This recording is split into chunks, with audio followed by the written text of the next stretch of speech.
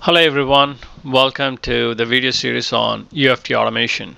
In this video we will look at uh, function libraries, we'll dive deep into function libraries, we'll see how you know these can be used uh, to kind of house all the business logic. We'll also load um, function libraries, we'll load object repositories, everything from the script using these functions. I'm starting off with a blank script uh, you can you know take a look at this object repository no objects whatsoever here and uh, uh, there's nothing in there as well. Oh they're from the other one. So there there there's nothing in the script. Action is blank. Go to look at the canvas. There's nothing there. All blank. So we want to start with a blank script. Use function libraries that have the logic to start the application log into the application, book a flight, and close all that. We'll use functions that are already there. And you know, I'll go over that function library after I demonstrate the script. So first what I'll do is I'll, I'll find or I will use a function library that has all those uh, functions. Open function library and this is the function that has all the logic and I'll go over this script at the end so once I have this what I'll do is I need to you know write call appropriate functions. And I know that all the functions start with when flight uh, it's not showing up because I haven't associated this uh, function library yet. Now if I do when I should see those functions from there. And I know that because these are because that's a naming structure that I followed so first is I know that you know I can I need to start the application. I'll start the application. And then I need to log in.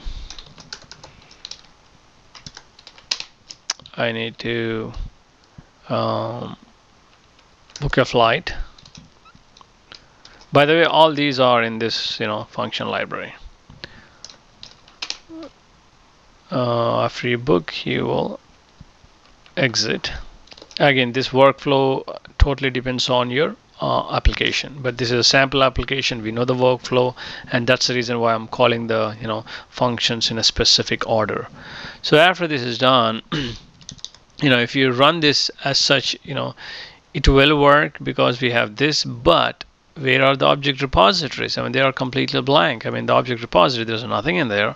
Then how does, you know, the now when you run this, how does the script recognize the objects? It will not. We, need to now load the object repository. We need an object repository with all the objects in this particular application. And I already have that defined here. I'll use load object repositories and this function loads object repository that is specifically developed for this function. It's very easy. I've already shown that to you in another video where you would use object repository manager to build object repository. So I built one using that tool and I have it on the file system and I'm using the path to load it.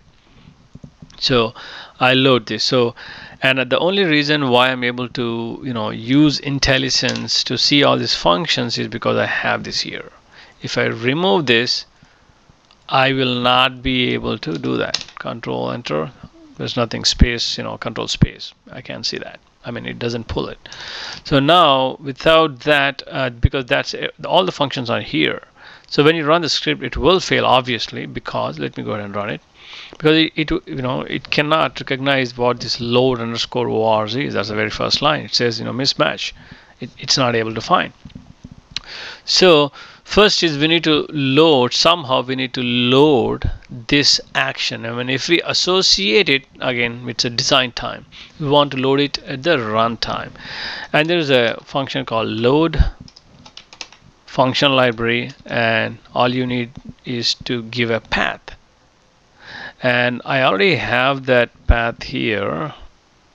I'll just copy this line and put it here as the very first line and if let me paste it below it's nothing but the same command. Remove that. So if we run the script now the very first line here it's loading a function library. And that function library nothing but here it has all the functions that are needed to run these things. Because we are making a function call here. So we are loading the function library and then using the functions from that function library. So now if I run it it should run.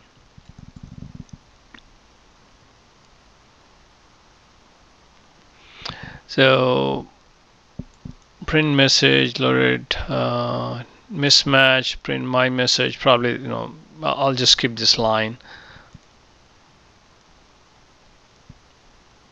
you know you know what let me go ahead and uh, stop the script. Go into here and it's looking for print function. Probably there's it's not there. So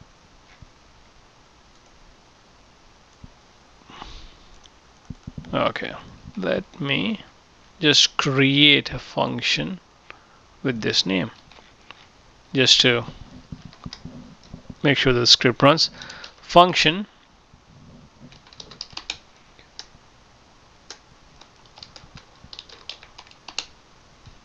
That's the name. And it is taking a string.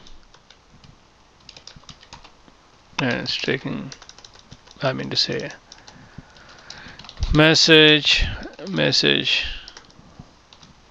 to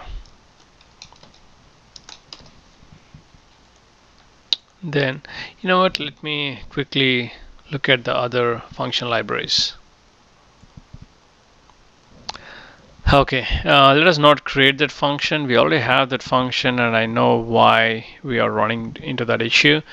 Um, see under this function uh, 46 which says WinFlight load function libraries there is a function library called library1-sample.qfl that's here. I just opened it and it already has that you know print my message. So it, the function is there but you know the, when we were running it was not able to recognize. And the reason for that is we didn't call that function. We need to call this function so that you know it, it loads all the functions from these libraries as well. If you look at our script we didn't call it. So we need a call there. That's it. So it's loading this main function that has everything in there the main functions. And then within that function library we are calling another function called load libraries. It's loading the rest of the libraries that are needed function libraries needed for the test. Now let me go ahead and run it and it should work just fine. We'll close the sample application run it. So it load the main library then it load rest of the libraries and as you can see it's you know this time there's no error and it, it keeps putting those messages here in the output window. So that's an error that I'm getting with the sample app. That's fine but you know it's done. So it was able to start the application load function libraries load ORs it was able to recognize everything. You see and then you know start application login book of light and exit.